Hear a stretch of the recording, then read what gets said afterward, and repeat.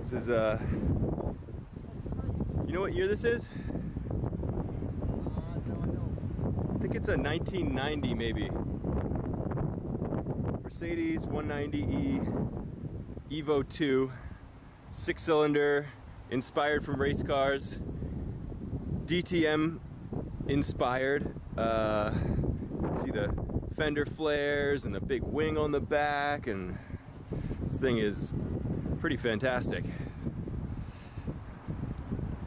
Just photographed it for uh, an auction, which it will be. Actually, I think it will be going to the Scottsdale auction. Uh, let's look at these, these adjustable wings here. Both little, sort of. You can see little rivets under there. You can adjust this lower one too. You got this, all these big skirts and everything back here.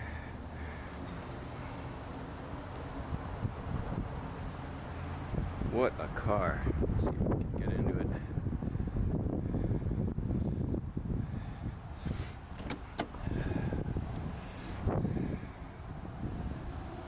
Yeah. Only 55,000 miles on it. And it's got a five speed here. Just a regular old family sedan, not quite.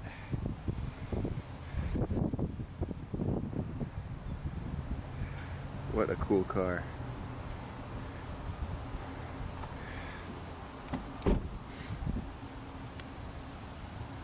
Evolution badge.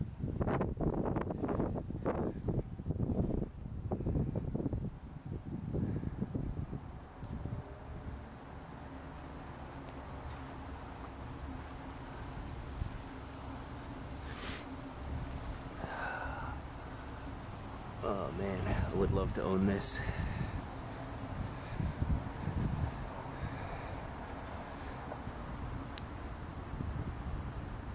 Looks cool from every single angle.